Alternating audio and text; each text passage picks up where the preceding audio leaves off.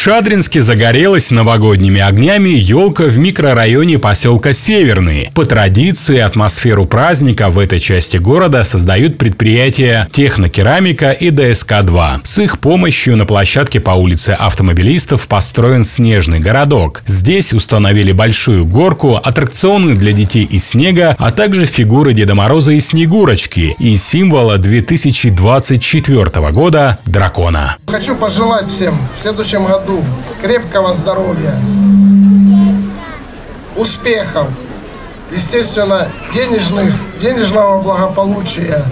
Ну а детишкам хорошей погоды на ближайшие каникулы, чтобы смогли насладиться городком. С Новым годом! Народ на праздник начал собираться задолго до его начала, ну а в ожидании открытия елки каждый развлекался как мог. Ребятишки обкатывали горку, прятались в лабиринтах и устраивали кучу малу в ледяной ловушке. Дорогие жители микрорайона, что мы видели с вами в уходящем году в нашем любимом месте жительства? Новые дороги, новое освещение – выходит на финишную прямую суперсовременная школа на 1100 мест. Что мы увидим в следующем году? А то же самое и чуть больше.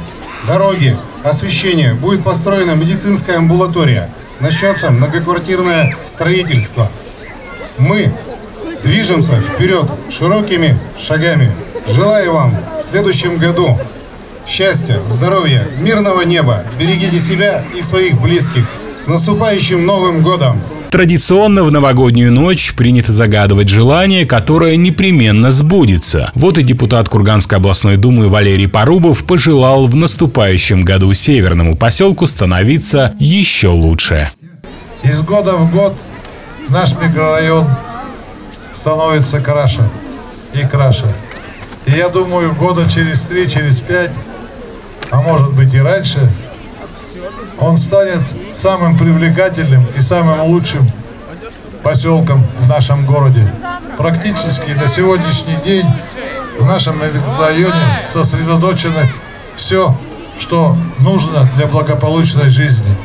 Остался построить один кинотеатр, чтобы можно было ходить, ну и помещение для работы с детьми. А в общем-то, жизнь текет, жизнь меняется, и меняется она в лучшую сторону.